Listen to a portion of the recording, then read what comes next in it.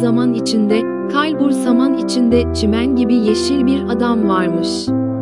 Kızlarıyla birlikte ormanda çok güzel bir yaşam sürüyormuş. Kızlarının en büyüğü güneş kadar güzelmiş. Ortanca kızı büyük kızdan daha güzelmiş. En küçük kız ise iki ablasından da güzelmiş.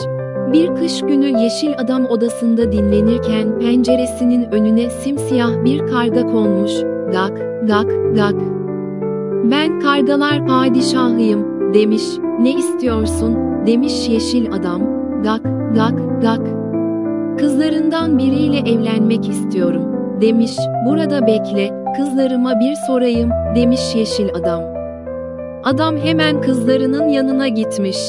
Kızlarına kargalar padişahının onlardan biriyle evlenmek istediğini söylemiş.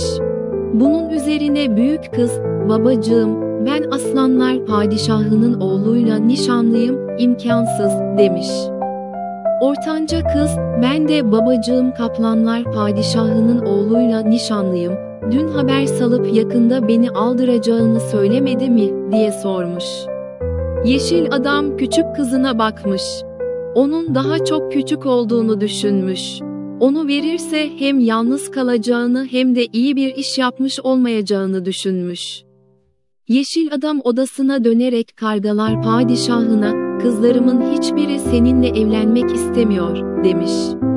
Kargalar padişahı sinirlenip adamın alnının ortasındaki tek gözünü oymuş. Yeşil adam öyle bir çığlık atmış ki kızları hemen koşup gelmişler, ne olduğunu sormuşlar. Babaları, kargalar padişahı sizin onunla evlenmeyeceğinizi duyunca sinirlenip gözümü oydu, demiş. Bunun üzerine küçük kız, babacığım, sözlerinizi yalanlamak istemem ama siz bana ne düşündüğümü sormadınız. Ben kargalar padişahıyla evlenmeye reddetmiş değilim, demiş. Yeşil adam, peki, öyleyse beni yatağıma yatırın ve beni yalnız bırakın, demiş. Kargalar padişahı tekrar gelmiş, gak, gak, gak. Ben kargalar padişahıyım, kızlarından biriyle evlenmek istiyorum, demiş. Yeşil adam, ona küçük kızıyla evlenebileceğini söylemiş. Kargalar padişahı bir büyü yaparak adamın gözünü iyileştirmiş. Yeşil adama, nişanlıma söyle, yarın sabah beyaz gelinliğini giysin ve hazır olarak beni beklesin, demiş. Sabah olmuş, küçük kız gelinliğini giymiş, bahçeye çıkmış. Birden gökyüzü simsiyah olmuş. Kargalar gelmiş, padişahları ile küçük kızı evlendirmişler. Kargalar küçük kızı günlerce üstlerinde gezdirmişler ve padişahlarının sarayına gelmişler. Küçük kız kargalara teşekkür edip saraya girmiş.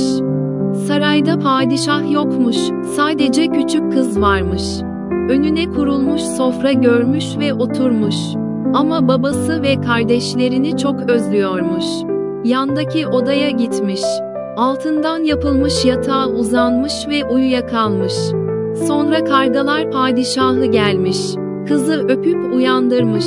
Kız uyandıktan sonra karga üzerindeki elbiseleri atmış. Olmuş yakışıklı bir delikanlı.